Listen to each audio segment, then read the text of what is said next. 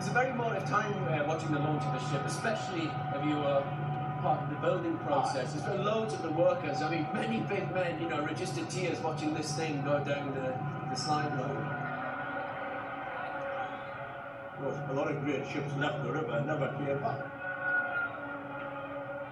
It's an interesting concept, isn't it? Something you've made from scratch. That is nearly 200.